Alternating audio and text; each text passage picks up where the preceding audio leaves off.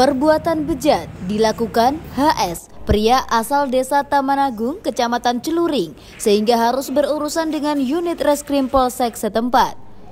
Bagaimana tidak, pria berusia 30 tahun tersebut tega menyetubuhi anak tirinya sendiri yang masih duduk di bangku sekolah menengah atas. Di hadapan penyidik, dirinya mengaku melakukan tindakan amoral tersebut lantaran semenjak tinggal satu atap dengan korban usai menikahi ibu kandungnya pada 2015 yang lalu. Pelaku sering mengintip korban saat mandi maupun ganti baju di kamarnya. Merasa tidak nyaman dengan perbuatan menyimpang bapak tirinya tersebut, korban berinisiatif kabur dari rumah. Apesnya, saat kembali ke rumah, Handphone milik korban malah disita oleh pelaku dengan dalih memberi hukuman kepada korban lantaran pergi meninggalkan rumah tanpa izin. Namun itu hanyalah tipu daya pelaku untuk bisa melancarkan niat terselubungnya agar bisa menyetubuhi korban.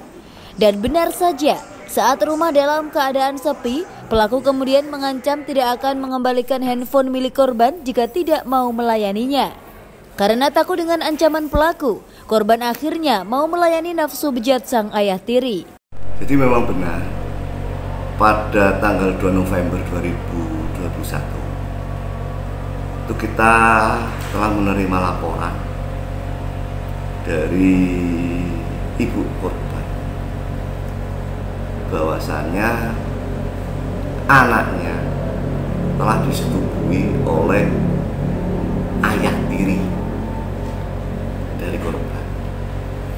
Jadi kejadian itu di wilayah Kecamatan Celuring di rumah tersangka atau ayah tirinya itu. Kita lakukan penyidikan lanjut sesuai dengan Undang-Undang Perlindungan Anak, Undang-Undang Nomor 17 Tahun 2006.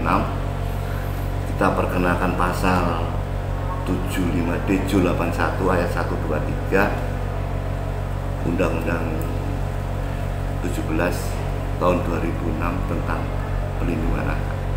Ancaman hukuman? Ancaman hukumannya 5 sampai maksimalnya 12 tahun.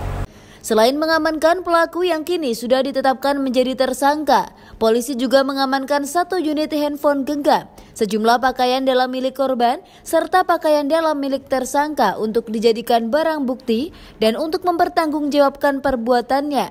Tersangka langsung dijebloskan ke dalam sel tahanan Mapolsek Celuring. Dari Banyuwangi, Jawa Timur, Agus Winardi Madu TV mewartakan.